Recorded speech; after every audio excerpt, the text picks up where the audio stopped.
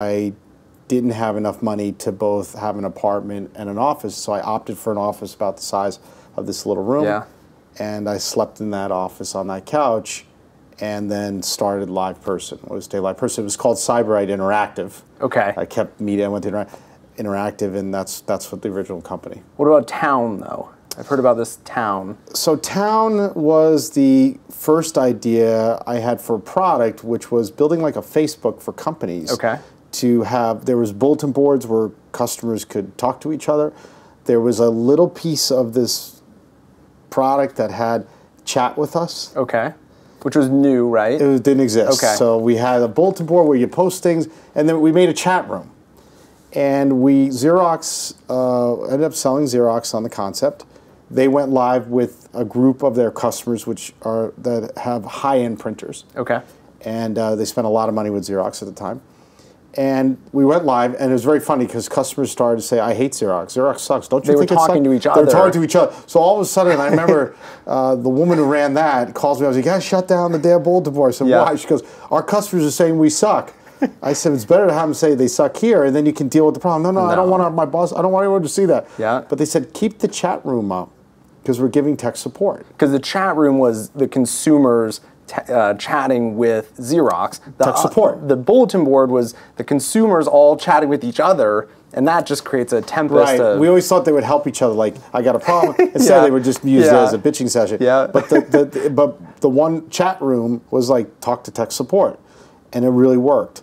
So we basically uh, there's five of us at the time. At that time, we decided to uh, to go for it, and it was- it was very interesting because at that time we had we had one customer that accounted for 70% of our revenues. Okay. And it was called Sensual Source, and it was a Okay. guy who was selling erotic products to women, very focused on women. He was a big executive of Macy's. And he made this beautiful website and sold these products. And we were building his website and everything, and we then we tested the chat on his website. Okay. And it really worked really well. What happened was about a couple months later, he calls me up and says, "I can't pay you anymore. I lost my funding." But he was ah. seventy percent of our revenues. And I had a couple of, I had about two or three months of cash in the bank to cover us Yeah. for our payroll. So I remember this was a Friday. I went home, came back on Monday. I talked to everyone um, and said, "Look, we should, we need to make a choice now. We can't. We're either going to build websites and become a consulting firm, Yep. or there's this thing called chat for web. so you were doing both at that time, so you had to make a decision. And, and the chat for web was only Xerox and this guy's website. And that was making very little money. no money. It was Okay. like, well, no, the Xerox one we charged about two hundred grand. So actually, Okay. that was that was a big contract. Okay. And So it was a hard decision to uh, which Right. one to choose. And I said, but I don't think we can do both. And we're losing 70% of our revenue, and we have three months in cash. Yep. So, and we all kind of voted, and we said, let's go ahead and, and do the, try this chat thing. And web chat didn't exist. So we then created, I remember we designed a chat window. We pioneered, like the chat window you see today came from someone and myself, and we created this chat. We kept experimenting on size. And then we launched it. We launched as a hosted service. Okay, So yep. we, we were always hosted. And then we went out uh, and sold a, a bunch of customers. And then uh, raised money um, in uh, January or early 99. and when you made the decision, you were at about five employees. Yeah, we were five. Okay. And no, almost. We cut our salaries in half, by the way. I was making, I think, $20,000, so I was then Yeah. cut it to 10. My lead developer was making probably 30, cut to 15.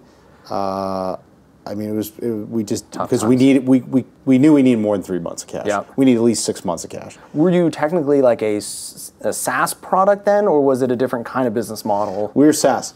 So it was- Before SaaS was a There's thing? no SaaS. Yeah, So we- exactly. I mean, really, we were SaaS. I'll tell you, one of the reasons we did SaaS is that there was a kernel of the code that wasn't ours. Okay. That we it was an off-the-shelf product that we bundled in, and we were using that. And one of the reasons we thought we can't sell this as an enterprise software is because part of the code is, You're using somebody else's. and it was code. like a five dollar Yeah. code product. Now that's so And We're normal. bundling it right. Yeah, yeah. Back then it was wasn't like open source. Yeah. And so we said we're going to have to host it, and we were hosting it over an ISDN line. So it was very funny. I mean, we, we had a server in the office, a little SPARCstation, and that was our server, and uh, that's how we that's how we started as a as a cloud SaaS company, That's insane. and that was 1999.